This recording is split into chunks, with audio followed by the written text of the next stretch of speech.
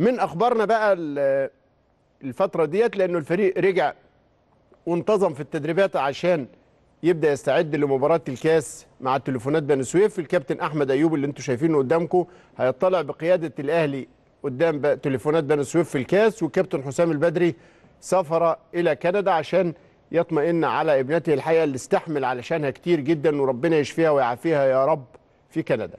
كابتن سيد عبد الحفيظ بيرحب باللعيبة قبل المران في أول تدريب بعد العودة من المغرب.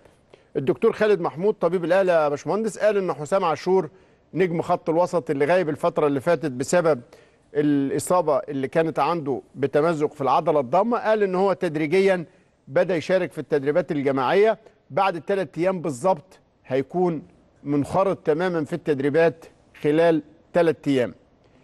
آه، أيضا بالنسبة للمصابين علي معلول اللي كان بيعاني من إجهاد في العضلة الخلفية غاب بسببها عن مباراة الوداد.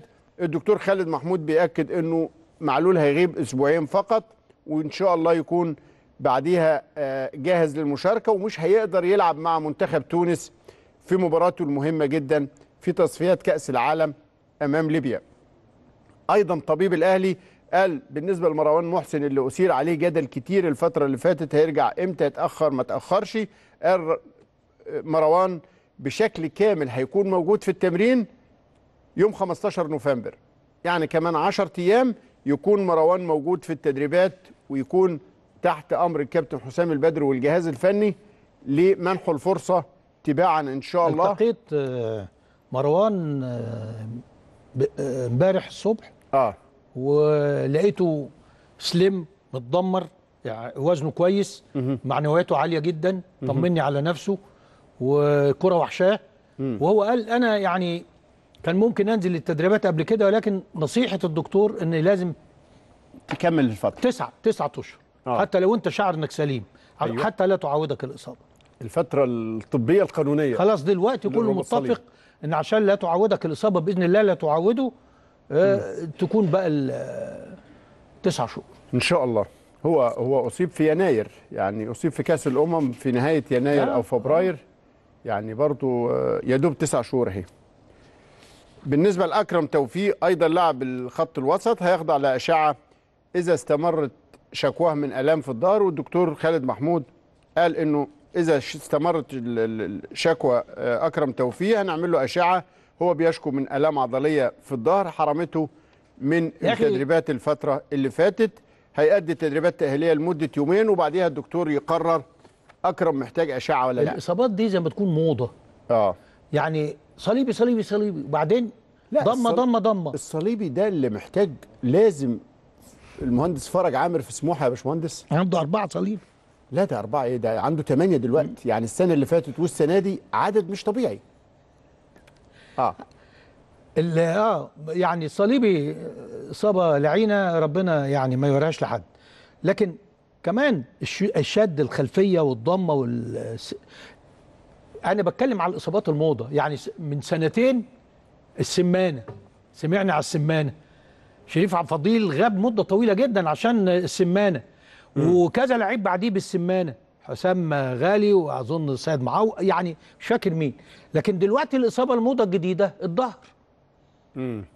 يعني آه، كذا حد دلوقتي يقول لك آه،. آلام في عضلات الظهر مش في ال- يعني وكرامبات في الظهر.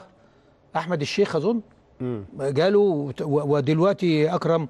ناس صغيرة شباب صغير. عايزة تحليل. صالح جمعة آه، المصاب خد تدريبات تأهيلية النهاردة أثناء تدريب الفريق وهو بيعاني من شد في العضلة الخلفية. كان أصيب بيها في مباراة الأهلي مع النجم الساحلي لو تفتكروا وإن شاء الله يدخل صالح الفترة الجاية. أنيس الشعلالي المتخصص في أحمال ال- أو تدريبات الأحمال البدنية في الأهلي عمل فقرة خاصة بقى بقت زي المستشفى بقى. عمل كمان فقرة خاصة جدا للعيبة المقيدين في القائمة الأفريقية لكن يعني كانوا مسافرين وما شاركوش في مباراة الوداد علشان يبقى في تقنين للأحمال. ما يبقاش كله بيتمرن نفس التدريب وكله بياخد نفس الجرعات البدنية. الناس اللي سافرت ولعبت ليها جرعة. الناس اللي سافرت وما لعبتش ليها جرعة. الناس اللي ما سافرتش خالص وكانت موجودة هنا ليها جرعة في الأحمال البدنية المختلفة. باكا مهاليمبي صديقي المهندس عدلي.